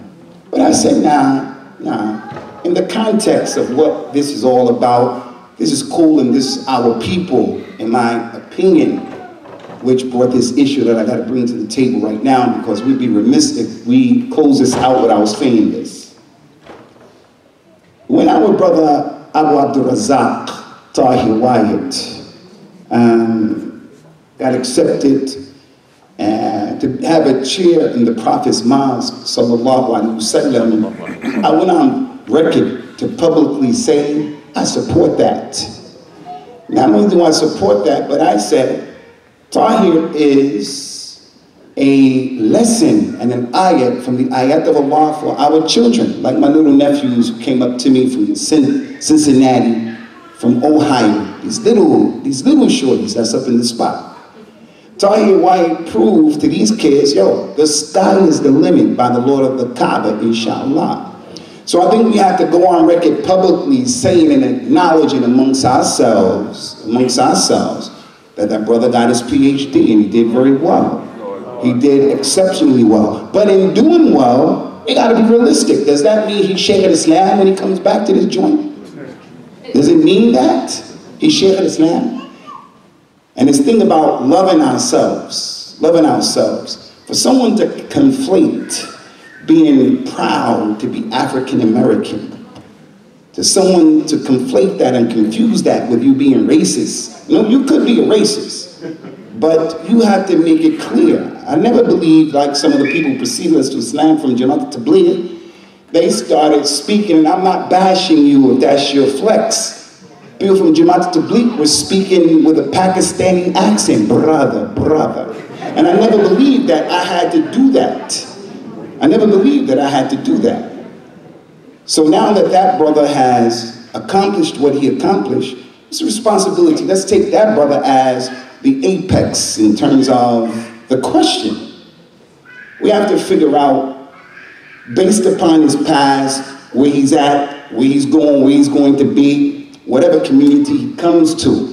Maybe he has to go to a community that unfortunately our reality may be we can't afford that dude. Because we've been munching for 20 years, we can't afford it. But whatever the reality is, he goes to one of them Desi communities, Pakistani brothers or something like that, just so that he could feed his family. I ain't hating him for that.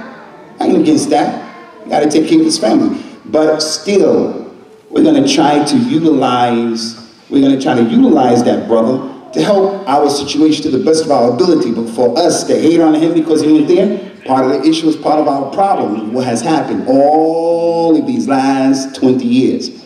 So in terms of response, in terms of what's the responsibility, how should we be looking at this situation? I think at the top of the list, we just have to be realistic about the people who go out, go over and study, and coming back, and then see what needs to be done to look at the person, we have that um, Mahdi Minhaj, the Mahdi and Muntazir.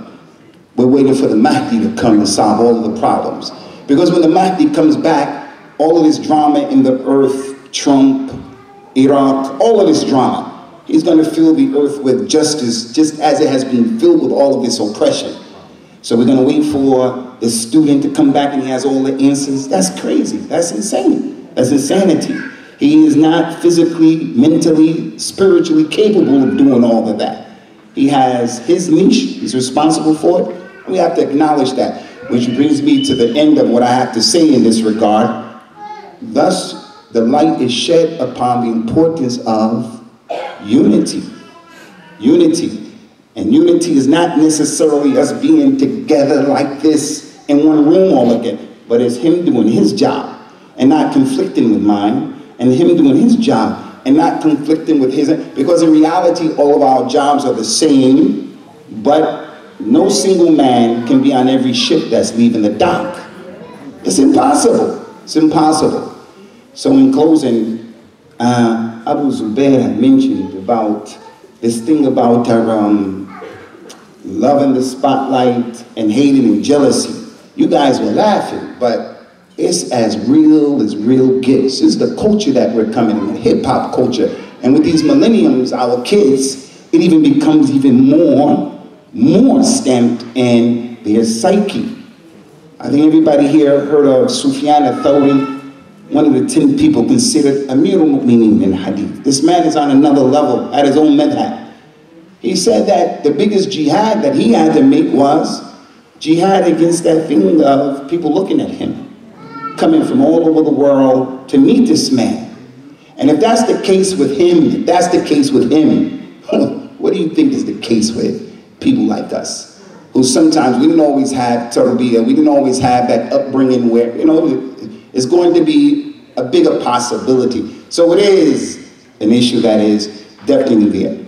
So I would say, you just have to be realistic as it relates to people who are coming back. Don't expect too much, what's beyond people's ability, and at the same time, don't think like in our audience right now. Have brothers, we have sisters who are teachers, Islamic teachers, Islamic teachers, getting only a fraction of the salary that non-Muslims are getting for various reasons. Is it realistic to expect a guy, a, a girl, a lady, a man, to work in a school for peanuts and they have to do all of that jihad of dealing with those kids?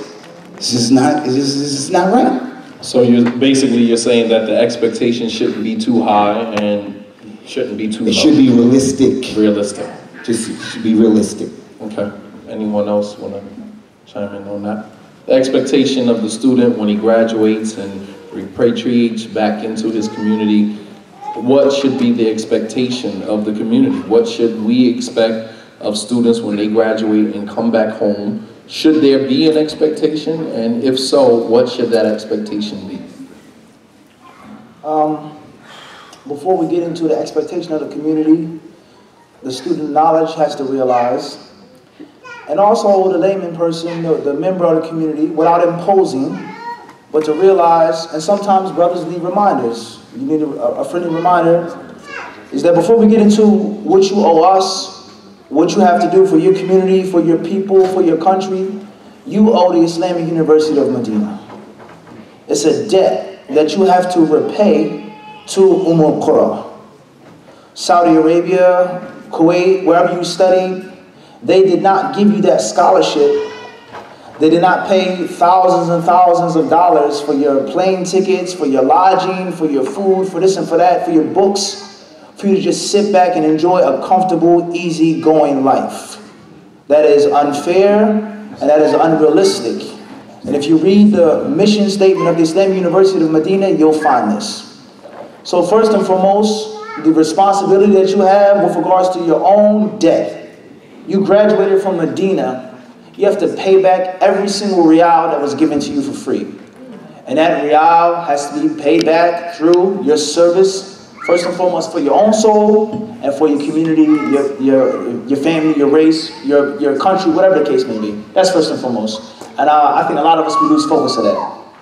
Some of us, we lose focus of that one way or another, that I'm indebted to this country and to this school, and I have to pay off this debt. And we all know what the Prophet ﷺ says about debts.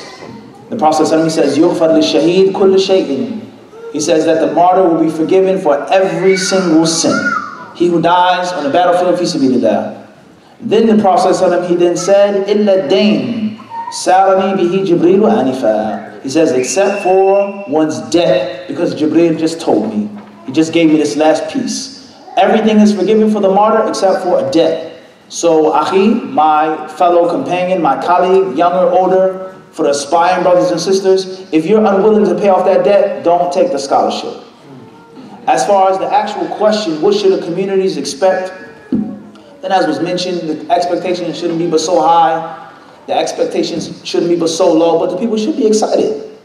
The people, they should look forward to someone who speaks their language, their tongue, who knows their culture, who eats their foods, who comes from their struggles, who has their social ills. And night ta'ala, by Allah's permission, is going to help them out. And is going to teach them and, and, and deal with the children, deal with the problems, the marriage, the divorce, the custody, and everything else. And there's some brothers, friends, and students, they literally, they come to me, or they say, I'm going to take you here, Ibn Wilson, and they lock you and say, Mufti, you're a hostage.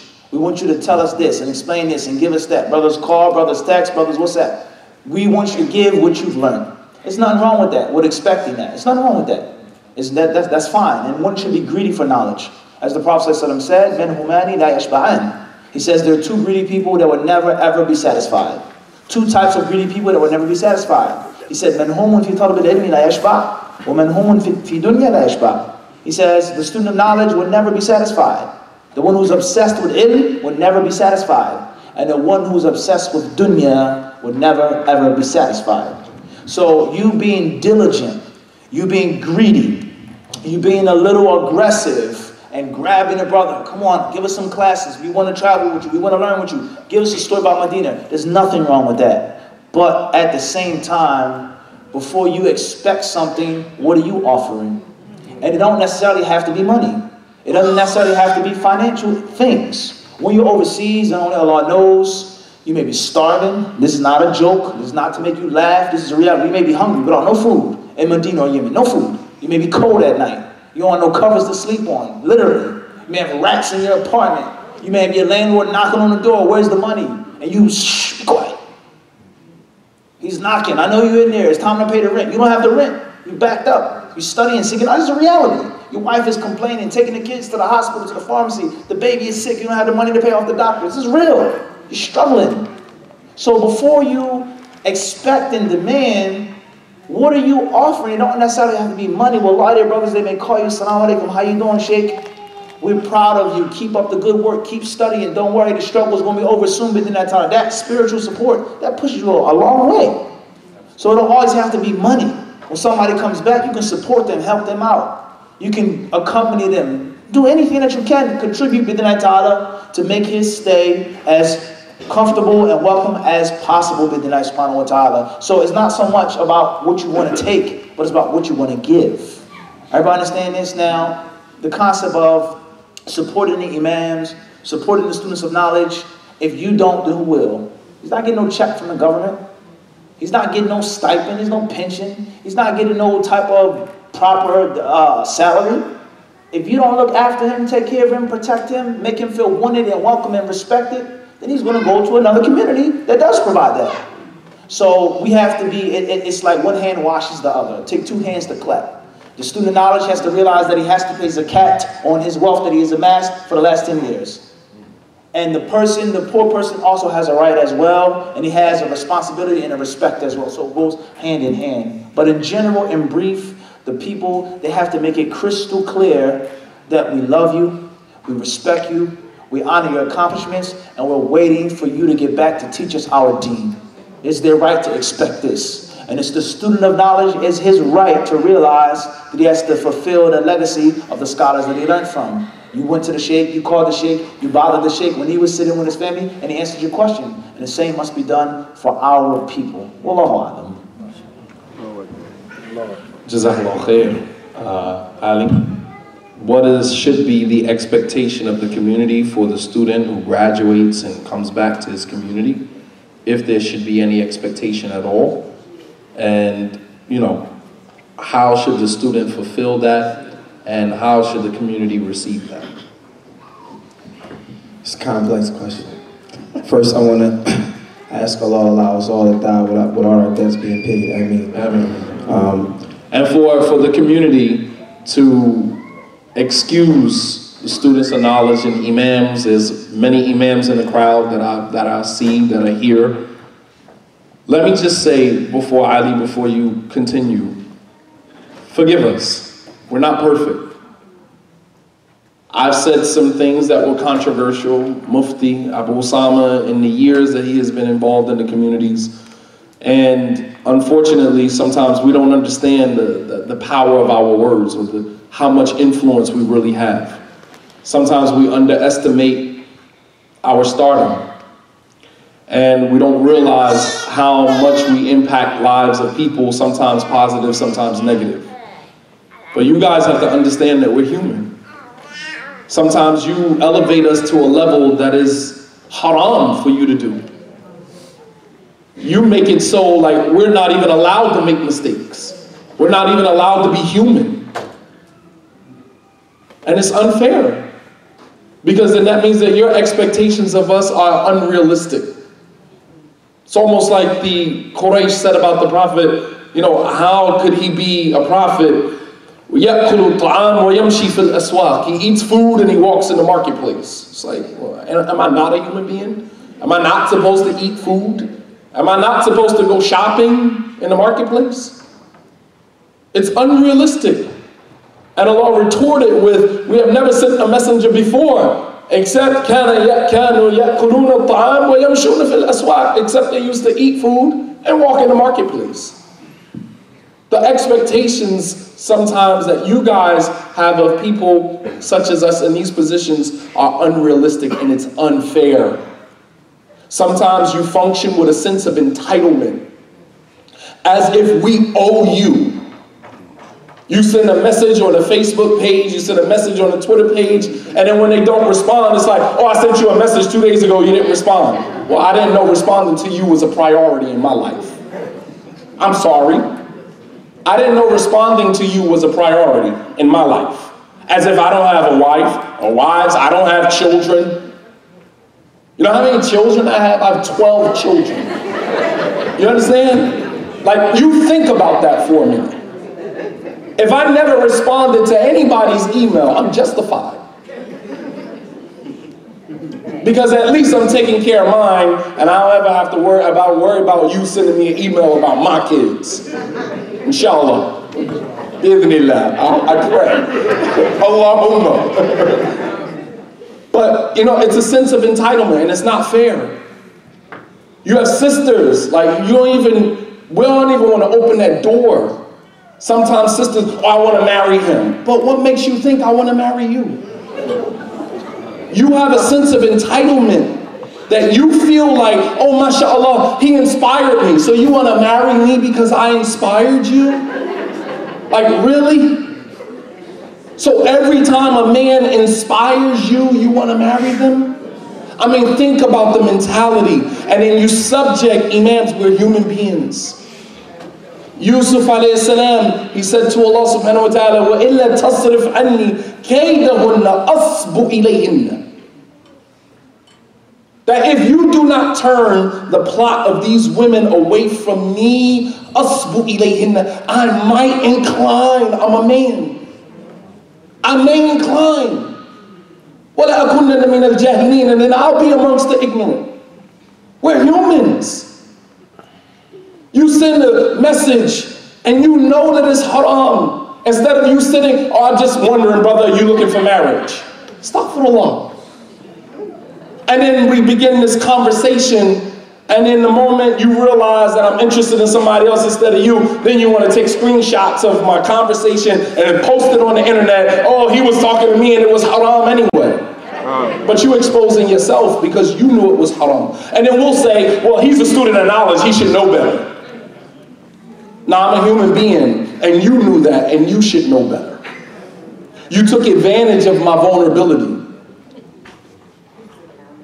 And I'm, you know what I mean? I'm not necessarily a fan of Nouman Ali Khan, and pretty much you all are aware of what's happening. But this is exactly what happens. That man was nothing more than a human being. And he was exploited. And people will say, well, he's, he's an imam, he's a student, and he should know better. But then now you're taking the responsibility off yourself because you're saying basically, I can do whatever I want to do and because he's a student of knowledge, he should obey and live by the rules and laws that he knows. And you put it back on the person without taking any responsibility for yourself. And these are unrealistic expectations. Stop raising students of knowledge to the status of superstardom. We are not superstars. As a matter of fact, we don't even want to be doing what we're doing. I didn't ask for this. Nobody up here asked for this. This was put into our laps. There's some people who are born in greatness, some people who develop greatness, and then there's some people who greatness is just put in their laps, and they got to deal with that. Allah subhanahu wa ta'ala says in the Quran, وَنَبَلُوكُمْ بِالشَّرِّ وَالْخَيْرِ فِتْنَةً وَإِلَيْنَا تُرْجَعُونَ That we will test you with good and evil. Good is a fitna as well. Being a student of knowledge is a fitna. Understand. So your expectations, brothers and sisters, has to be realistic. Stop. Aisha radiallahu anha, she said, أُمِرْنَا أَن نُنَزِّلَ النَّاسِ مَنَازِلَهُم We have been commanded to put everyone in their proper place. To give someone a status that does not belong to them is wrong. And the expectation of the student of knowledge should be, as Abu Usamah mentioned, should be realistic. So with that being said, inshallah ta'ala, I want uh, Imam Ali to respond, what should the community expect from the student of knowledge upon his graduation, uh, graduation and repatriation into the community? It's a good question. Um, first, I think I think people here, everyone needs to understand who these students of knowledge are. Many of us, maybe the brother's not here, but many of the other students of knowledge, when you go overseas and study, you're just nobody among other students of knowledge. In fact, many of us may not have even been the best in our classes from students of knowledge. Uh, even to the point when you sit with the different ulama, you have many other students that are a lot stronger than many of us. Many of us. And when they graduate or when they finish school, you know their level. And see, the thing is, when students of knowledge are around other students of knowledge, you can't fake like you know more than what you know.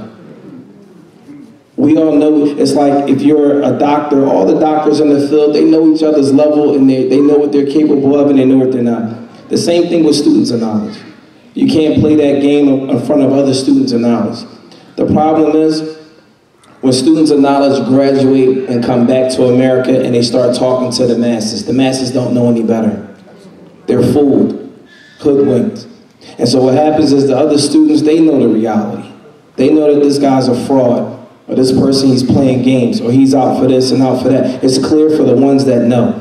So when it comes to setting up, and I just wanted to say that first, when it comes to setting up expectations for the students when they return, the first thing is that in our communities, we don't have any real infrastructure set up in place to support students of knowledge when they come back. That's just the reality at the end of the day. And so what happens is there's no protocol in place that prepares us to come back to America. In fact, I remember when Shadeed graduated. He was 07, right? In 2007. 2006, we all still in school. He's still in school, I'm still in school. But he graduated in 07. What are you going to do when you get back? Nobody knows. There's nothing in place. Nothing. So that was in 07. I graduated 2014. What what's in place? Nothing. So when you come back, you're scrambling. Well, what am I going to do? I'm going to go here, I'm going to go there, I'm going to go there. Sheikh Abu Salama, he came way before you graduated, in the 90s. The 90s. I wasn't even Muslim when he graduated. The thing about it is, there's nothing in place. So the expectations of the students is to come back and save the day, but they don't have any tools to save the day with because there's no infrastructure. There's nothing in place to support them. And we're not necessarily talking about money and so on and so Just whatever the case may be, there's nothing in place. So when a student comes back, he has to start from ground zero. Firstly, how you going to take care of your family? That's first and foremost. You can't help a community if you can't help yourself. Now you want, now you have to figure that out. Then that's going to take a whole nother year and some change as soon as you come back. Then once you start having some run, everyone's pulling at you. Brother, we need you to come here. Well, I got rent though. I got to figure out how. So now the expectations of the student is a lot more than, they, than they're able to fulfill.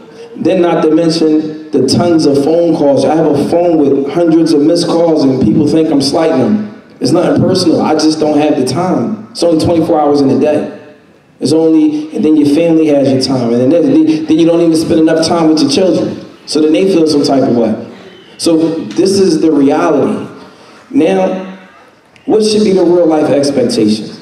The expectation is that you should expect from a student of knowledge to be sincere in dealing with you. That's the real expectation. The expectation is that that student of knowledge has a trust and a, a manner that they must convey.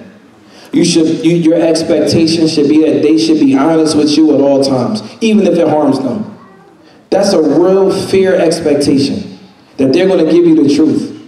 And, they, and you should also expect that whatever comes out of their, mic, their mouths, they have to stand in front of Allah with it. So if they tell you something that's incorrect, they have to wear that. And it's also for the student of knowledge to fear Allah. When you talk to the people, you must, and all of us, we must fear Allah subhanahu wa ta'ala when we say whatever comes out of our mouths. And having said that, our expectation from the people is to give us time to grow. Because being back here in America and dealing with our problems that we face every day, we may not be ready to deal with all of that coming straight off the plane. And I remember Shadeed and I had conversations over the years. he knows this. When I was in school and he would be dealing with the problems that he's dealing with. He says, Ali, you gotta, I said, Sheikh, I'm not ready yet. I'm just not there yet. It takes time. I'm not ready to speak on those issues that you're speaking on. I need more time to develop in this environment. Um, other brothers had other years to develop. Everyone develops at their own pace. No one's going to move on someone else's time. So at the end of the day, everyone has to give the students of knowledge the ability to grow in their community. You have to understand we may have spent 10 years in a foreign society, learning a foreign culture that's foreign to us living in it, experiencing it, dealing with people according to it. Now I got to come back to Philly. When I first became the imam at the masjid in South Philly, I actually did. I said, "Listen, man, we got to deal with these marriage and divorce issues." And you, I don't, you, I don't, I don't think you remember this. I said, "I got to deal with the issues of marriage and divorce." So he said, well, what do you want to do if a woman, you know, she wants a khul'ah and the brother's not, I'm just going to have to separate. He said, man, you're going to get yourself killed. I said, what do you mean? Remember that? He said, I said, what do you mean? This is the sunnah. No, man. You got to understand the society we live in. The brother's not going for that. So it's like all of these things, everything is not kitab sunnah, black and white, the way we studied it. We have to understand our people. We have to understand how they react. So this is a learning process. This doesn't happen overnight. So as many times I went, oh, how do you deal with this? The rule says this. Well, that you gotta bend it this way and that way to make it fit. Right, I said, okay, this is something that students have to learn. You don't just come back overseas living in a foreign country for 10 years and understand that process right away. It doesn't work that way. So having said that, you know, that's my two cents to the whole conversation, and I'm gonna let you take the microphone. Jazakallah khair. No, fair, fair, fair enough, man. Uh, Abu Usamah, inshallah ta'ala, is going to make a closing remark, and then inshallah ta'ala, I'll give uh, each of the um, scholars that are sitting with me, inshallah, um, just one minute to leave you guys with some final information for the night, inshallah. I'm happy that uh, Ali had mentioned some of the responsibilities that the student of knowledge has towards the community in terms of sincerity and things like that, because it wouldn't be correct, it wouldn't be responsible, it wouldn't be Islamic to put all of the blame and the onus of stepping up to the plate on the community. So he made that pretty clear. I just want to add one issue for the students of knowledge to uh, ponder over, because it's serious. And that is that our community uh, they have the right that the students of knowledge who have graduated, who are sitting here, and other than that, that we do a better job with um, communicating with each other and networking with each other. Uh, we're to blame, like my man right here, um, Shadeed. He always calls me old head when he, when he writes to me. I mean, it's crazy, massive, disrespectful, but he's always calling me your old head, your old head, stuff like that. And that's because he's my little brother. So when this thing happened recently, when this thing happened recently, I have to have the nerve, the gall, I have to have the love to be able to step to him and give him my point of view and what I think you should be doing and you shouldn't be doing. And that has some reciprocity in it as well, that he has to do the same for me and that's how we do. There are situations that are going on in our community where ignorance is perpetuated. And it's stuff that will blow your mind that this imam is acting this way or that one is acting that way, and nothing is happening. And part of that problem is because we don't come together collectively to step to the person and say, hey, what are you doing? And I end with this example. When I was in the UK, our sister, I don't want you, you know, just be big about it.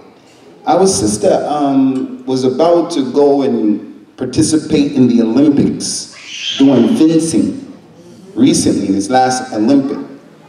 And some of the people supported that. When people called me overseas in the UK and they said, what do you think about that? I said, look, as far as my daughter is concerned, uh, I want my daughter know fencing, and I want my daughter to be able to defend herself. But getting in front of the world and fencing, I ain't gonna do that because I love for my brother what I love for myself, so I wouldn't do it. But I would never condemn, never condemn publicly anybody who tried to help to get money for that. Because they got their point of view and they got the reasons that are motivating them to do that. So instead of us being people who are condemning without any communication, without any discussion. But This ain't the way to do it. So I say to every student of knowledge with this last issue, did you reach out to this man to say to him, I'm not happy with what you said, and I'm not happy with what you dealt with. And then he has that personality, and it's not about him. I'm gonna say it straight up because I'm the old head up in the spot. He has that personality where we come from, the cloth that we're cut from is, hey man, don't step on my shoes. Don't push me around. Don't push me around. And this is one of the things I couldn't understand about drinking that Kool-Aid, man. I don't care how much knowledge a dude has. I know game from Jahiliyyah. You ain't coming up in here pushing me around like that. So three people didn't get knocked off the square. One, he never was a yes man. Never. So you ain't pushing me to take you. You ain't bullying me. The second one is the guy who experienced himself or herself the oppression of that stuff. Now you know it up close and personal. And number three, the one who just has knowledge and he says, This is crazy what you people are talking about. It's crazy. So, my point is students of knowledge. Are we networking in a way where we're helping the problem or because everybody is busy? Everybody is busy.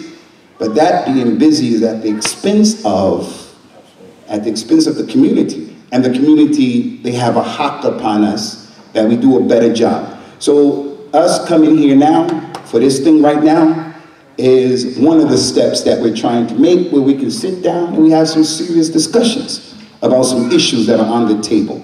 And Allah is, our tawfiq is only with him. Um, can I get a raise, uh, a hand raised for the imams that are in the building? Imams, any imams here? One, two. Imam Tariq, come on man, put your hand up, Sheikh. All right, so you have, you have some imams in the building, all right? Um, and why I'm pulling them out or asking them to raise their hands is not necessarily to put them on the spot, but we want to acknowledge them. These are imams of our communities. They don't necessarily have to be the student of knowledge on this level. Nonetheless, they have a position in the community of responsibility, and we should acknowledge that. We are, that's another thing, we are very stingy in our communities with acknowledging the leadership in our communities.